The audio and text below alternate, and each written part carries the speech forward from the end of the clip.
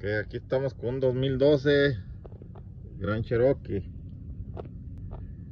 El problema fue que lo chocaron y se quemó la computadora, no agarra corriente.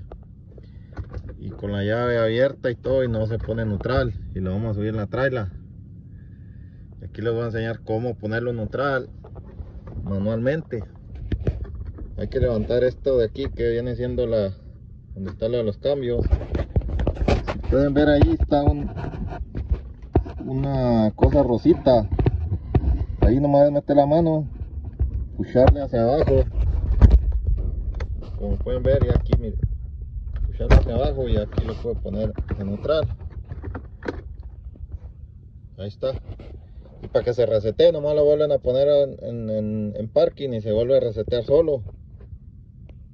Cuando ya esté arriba de la traila y cuando lo van a bajar pueden hacer lo mismo para que no lo arrastren y van a, a fregar la, la transmisión